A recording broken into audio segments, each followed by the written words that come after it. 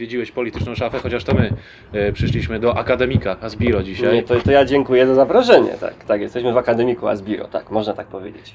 Także tym bardziej dziękujemy. I pierwsze pytanie, żeby, żeby tak naprawdę ten, t- tą tematykę poruszyć już, jak to się mówi, z grubej rury, bo jak dobrze wiemy, jesteś przedsiębiorcą. Jesteś bardzo no, Staram progresywnym przedsiębiorcą, który odnosi sukcesy. Weź przestań, No, trochę, progresywny. trochę, trochę, trochę, wiesz, y, cukru trzeba, y, wiesz, posypać. No. Tak, a teraz będziesz baty dawał. Ale pierwsze pytanie, takie Strzelaj. dosyć poważne. Jeżeli na przykład przychodzi mu- młody przedsiębiorca, przyszły przedsiębiorca, prawda, z pomysłem, z bardzo fajnym pomysłem, ale nie ma funduszy i nie ma tak naprawdę za dużo środków w kieszeni i chce otworzyć e, własną firmę, mniejszą, większą, nieważne, po prostu chce realizować swój plan, pomysł. No i tak jak wspomniałem, nie ma funduszy na to. Co ma zrobić takiego, jeżeli ta pomoc od państwa jest tak znikoma? Na, e, projekty Unii Europejskiej się wyczerpują, nie są wieczne. Jak on ma e, zrobić e, oczywiście ten pierwszy ruch, który poprowadzi go do sukcesu, że nie będzie musiał zamknąć po miesiącu, po dwóch miesiącach działalności gospodarczej? Czy jest w ogóle coś takiego możliwe w Polsce? Jest. I jak do tego dążyć? W jaki sposób Zarobić to zrobić? pieniądze. Zarobić, tak, ale to nie jest tak łatwo zarobić na początku te pieniądze.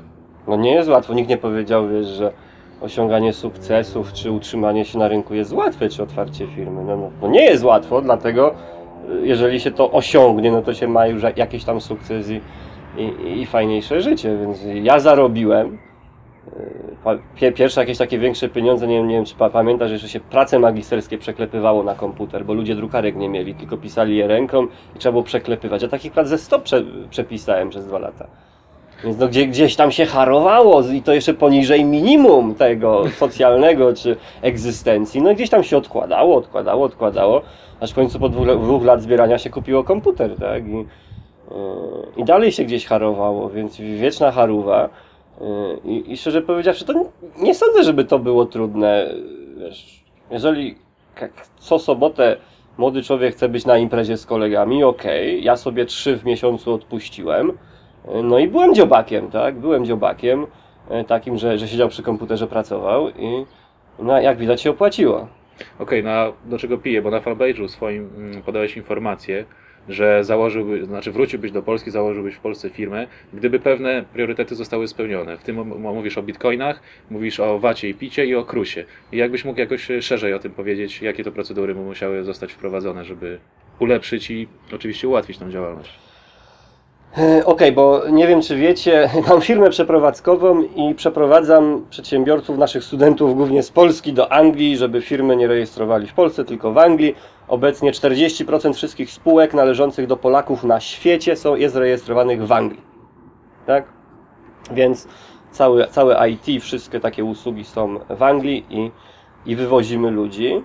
No dlaczego wywozimy? No nie dlatego, że w Anglii są ni- niższe podatki, no bo nie do końca są, są, są niższe, ale te podatki są prostsze. Kwota wolna od podatku I- jest wyższa. No tak, ale to umówmy się, to, to, jest, to są drobne. To są drobne, jeżeli mówimy o, o ja, ja, ja, innych, innych zyskach. Po prostu inne rzeczy są atrakcyjniejsze, ale zostawmy to, bo pytasz się, co musiałoby się zmienić, żeby ta ja, który może być może coś tam symbolizuje, rzeszę tych moich klientów, no bo z nimi, z nimi rozmawiam, y, to jest zostawienie tej biurokracji.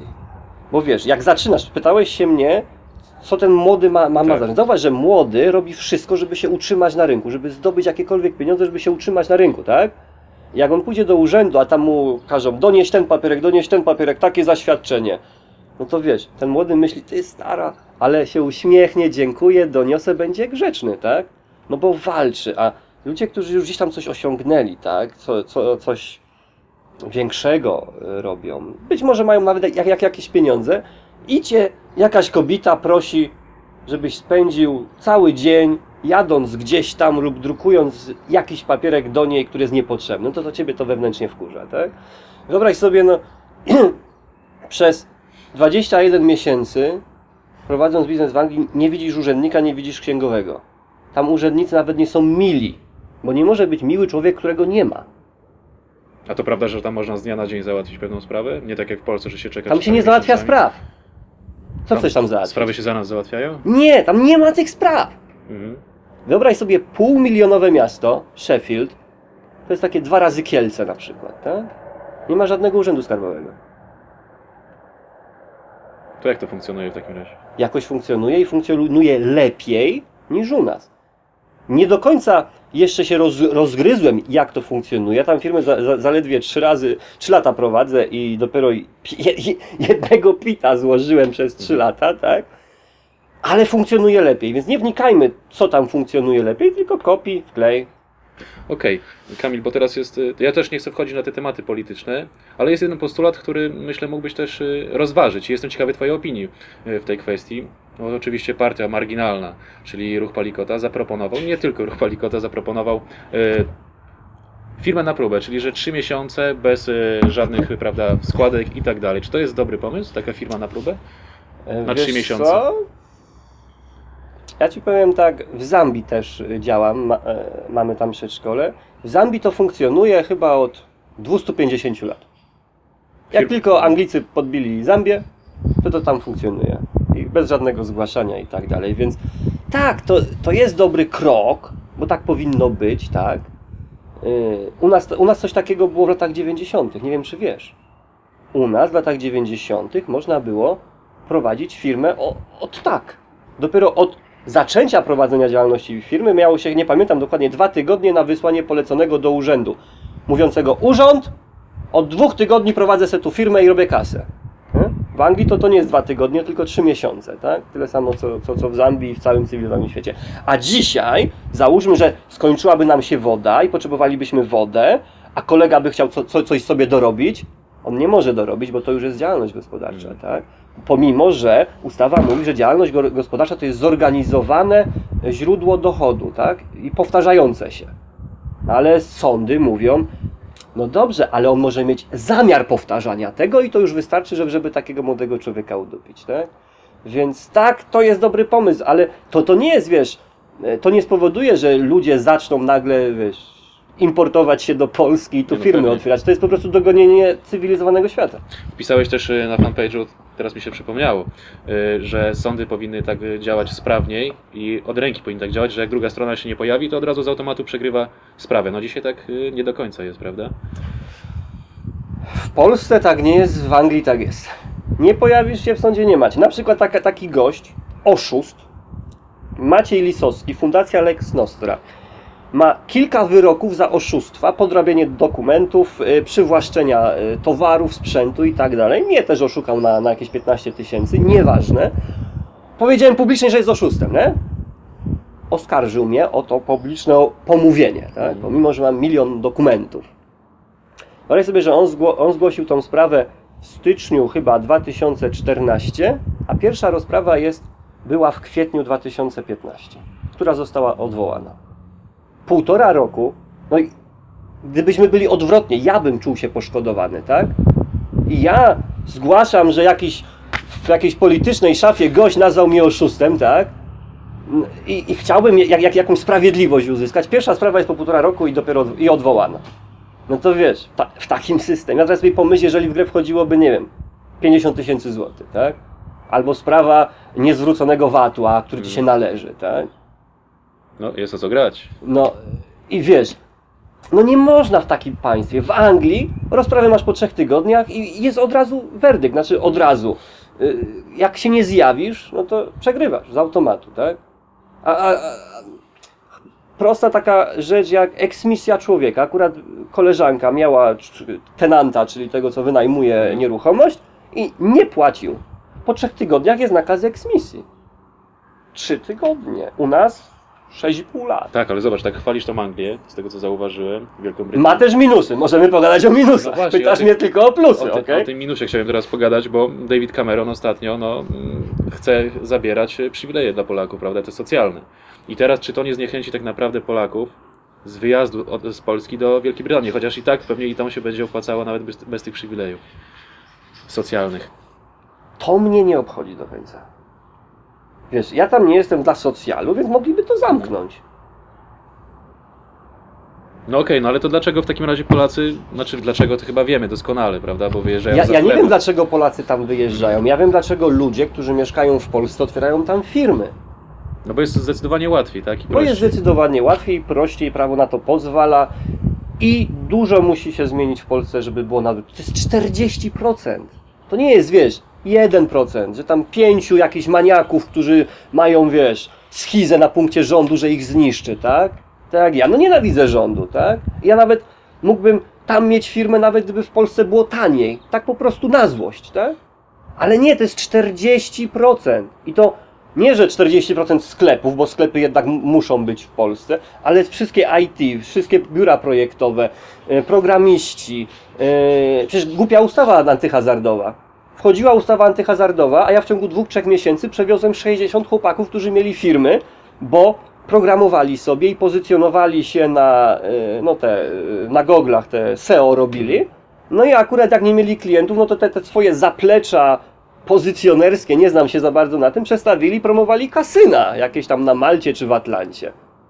No i siedzi sobie chłopak, robi kasę na, na, na programach partnerskich, tak? Albo inna sprawa, byłem na wie, y, w wiecu Korwina, mnie zaprosili w Kielcach.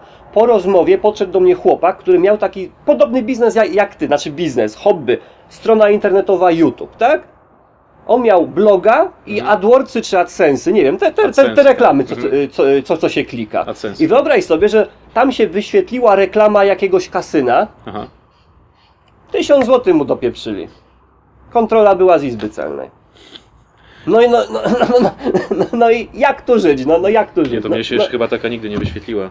Przynajmniej mam taką. Zablokuj to. No, no, słuchaj, gdybym nie, nie spotkał tego człowieka na żywo i by mi face to face tego nie powiedział, nie uwierzyłbym. Mhm. Normalnie bym nie uwierzył. No to są absurdy, rzeczywiście. Okej, ale wracając właśnie do wiecu Korwina i do samego Korwina, no bo jak byłeś, byłeś zaproszony, prawda, przez sztab. No Byłem ale, przez du- wielu za, zaproszony, ale no akurat ale no to sympatyzujesz, prawda, też y, z Korwinem. Też ja, ja, ja sympatyzuję z każdym, który chce trochę wolności tu wprowadzić, Mhm. tak? Więc to nie jest tak, że Korwin, że to, że, że to, że to.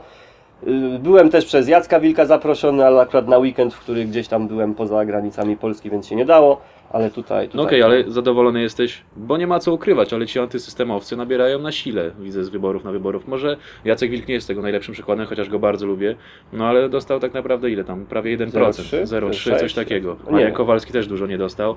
No ale Paweł Kukiz, czy według Ciebie to jest no, nowa jakość, powiedzmy, w polityce tej antysystemowej? Antyestablishmentowej? Wiesz co, no gdyby, gdyby ich sumować, to, to jest 25% ludzi, któ- którzy no znają chociaż trochę tej teorii wolnościowej. Kiedy ja, nie wiem, z 10, może 12 lat temu przeczytałem Misesa, tak, to ja byłem jedyną osobą być może na świecie, wtedy tak sobie wyobrażałem, która przeczytała super książkę. Tak? I, I gdzieś poznała jak- jakąś ideologię, jak jakiś yy, system wartości, który odpowiada rzeczywistości. Tak? Dzisiaj ja idę na jak- jakieś w zasadzie każde spotkanie z jakimiś studentami, bo czasami mnie zapraszają, zapytam się, kto zna Misesa.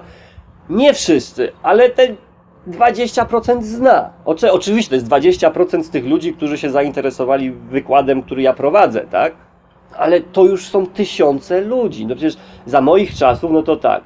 E, Korwin był, był prowolnościowy, był Centrum Adama Smitha wolnościowe, kiedy ja byłem Łebek 15-20 lat.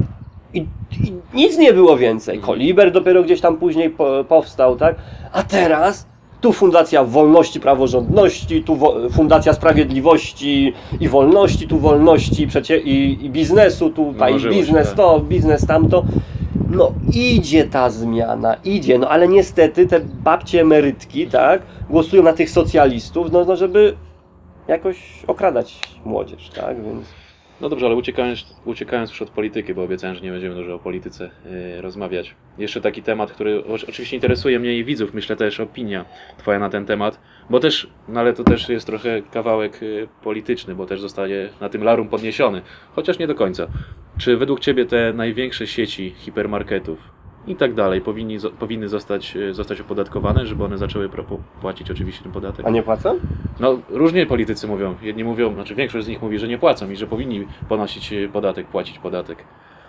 Wiesz, ja nie jestem za tym, żeby ich opodatkować, ja jestem za tym, żeby inni też nie płacili. Mhm. Ja jestem z, za zniesieniem przemocy, tak? Więc y, ja nigdy nie, nie będę, żeby, żeby ktoś miał gorzej, no bo to jest taki, wiesz, pies ogrodnika. Ja płacę podatki, to on też nie, nie, nie płaci. Nie, niech nikt nie płaci podatku.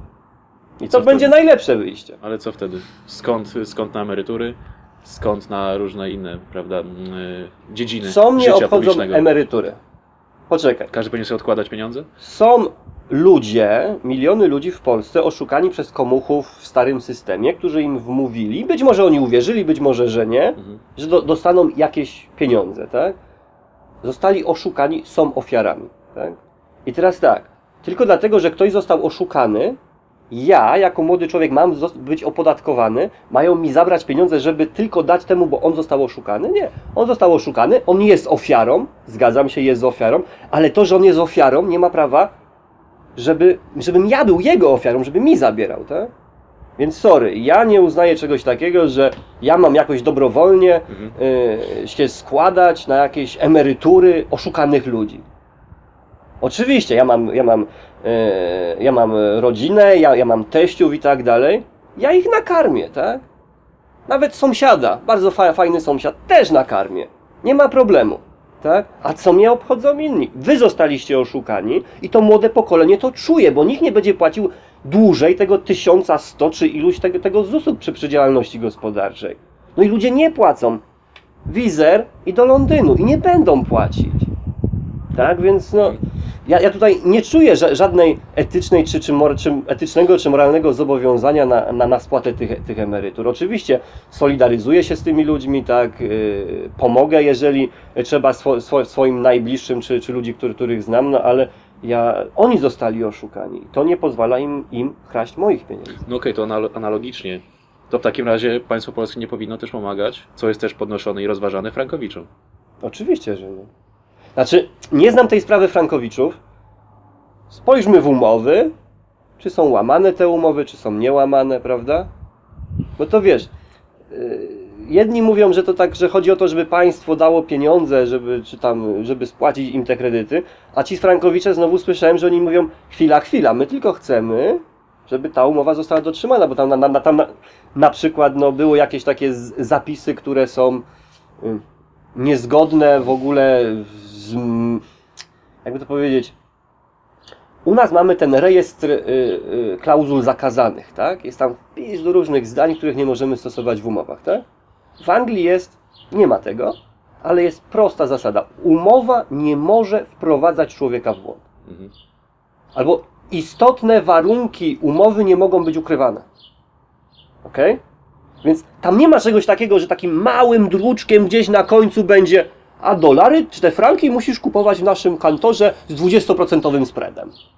Jeżeli tam coś takiego by było małym druczkiem gdzieś tam na, na końcu, ha, ha, ha, bank bankrutuje od razu. No właśnie, w Polsce zazwyczaj na takich umowach są takie małe druczki, że nie można ich rozczytać. Tak, bo podpisałeś, to cię obowiązuje. Nie! Proste prawo, common sense.